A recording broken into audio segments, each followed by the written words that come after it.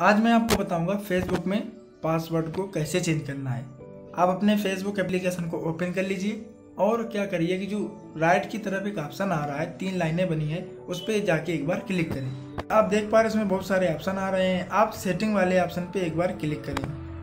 जैसे ही आप सेटिंग वाले ऑप्शन पे क्लिक करते हैं, उसमें बहुत सारे ऑप्शन आ जाएँगे। फ़िलहाल तो मैं अभी आपको पासवर्ड चेंज करने के लिए बताने वाला हूँ। बहुत सारे ऑप्शन को बाद में बताऊँगा। इसके लिए सबसे पहले आप क्या करिए, एक ऑप्शन आ रहा है सिक्योरिटी एंड लॉगिन का। उस पर जाके एक बार सिंपली क्लिक कर देना।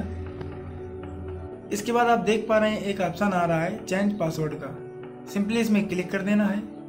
जैसे ही आप इसमें क्लिक करेंगे, इसमें तीन ऑप्शन आ रहे हैं करेंट पासवर्ड न्यू पासवर्ड और रीटाइप न्यू पासवर्ड का। सबसे पहले आप क्या करिए, जो आपका करेंट पासवर्ड है, वो इसमें टाइप करना है।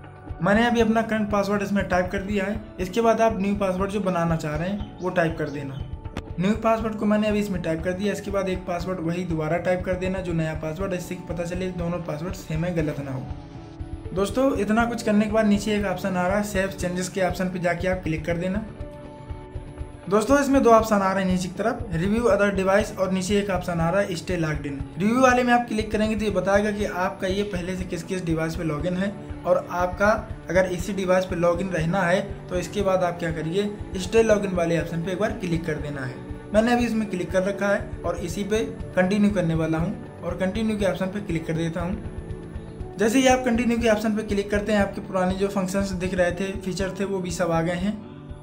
इसके बाद आप क्या करिए सिंपली इसमें बैक कर दीजिए। दोस्तों, ये इस तरीके से आप अपने फेसबुक आईडी का पासवर्ड चेंज कर सकते हैं पुराना, और मैं कहूँगा कि आपको हमेशा पासवर्ड चेंज करते रहना चाहिए हर दो तीन महीने में, जिससे कि आपका अकाउंट सिक्योर रहे। दोस्तों, इसमें बहुत सारी सेटिंग्स हैं। अगर आपको किसी खास सेटिंग के बारे में पूछना है तो आप हमसे कमेंट में पूछ सकते हैं। आशा करता हूँ कि आपको वीडियो पसंद आया अगर वीडियो पसंद आया तो दोस्तों के साथ शेयर करिए। चैनल को सब्सक्राइब करिए नोटिफिकेशन बेल को दबा लीजिए जिससे कि अगला वीडियो डालूँ, आपको मिल जाए नॉलेजेबल वीडियो देखने के लिए हमारे चैनल को देखते रहिए। मिलेंगे नेक्स्ट वीडियो के साथ, धन्यवाद।